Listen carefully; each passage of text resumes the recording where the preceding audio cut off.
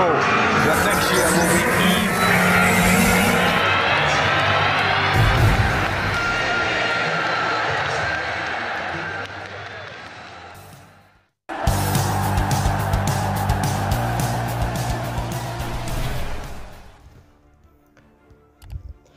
Another United transfer misfire.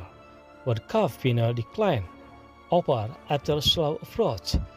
Manchester United scam. To yet another away defeat as they were beaten 1-3 by Arsenal at the Emirates Stadium in North London on Sunday. The game virtually encapsulated how far United have fallen as compared to their rival when they broke on Harry Maguire and Jonny Evans on toward the end of the game. The North of Ireland veteran was rightly to blame for Arsenal winning goal, but the fact that United defensive that is so poor is a matter of concern. United defensive was. It is well known that manager United Erik Ten Hag wanted the England star to be shot in the summer, while the former academy graduate was just an American signing at best. United missed out on the likes of Kim Min-jae, Benjamin Pavard and Jean Clair Todibo to the Maguire resistance to leave and the club inability to agree a payoff amount with the centre back. It is even more damning to think it might happen once club football resumes after a week if Victor Lander or Lisandro Martinez are unable to shake off their injuries. Now, as per the Sun, United attempted to bring Sergio Ramos to Old Trafford after news broke that Rafael Varane will be out for six weeks. However, the Spanish was not impressed with the offer and the timing of it, and instead decided to don the color of Sevilla, the club where he made his professional breakthrough 20 years ago.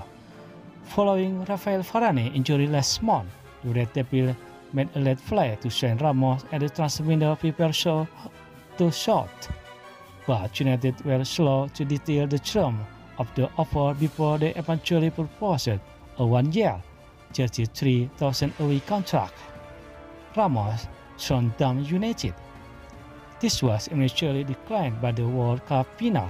Manchester United were said to be upset that he turned their offer down so swiftly. This general lifestyle approach from United transfer team has cost them in fast well and now it seems it was what led to be World Cup final rejected the offer. Whether Ramos could have provided better security is debatable considering his exploit for Paris Saint-Germain, but class is always remaining and he could have gone down the same road as Thiago Silva. Whether United end up playing this transfer misfire remains to be seen, but fans will be hoping Martinez and Danilov recover as quickly as possible.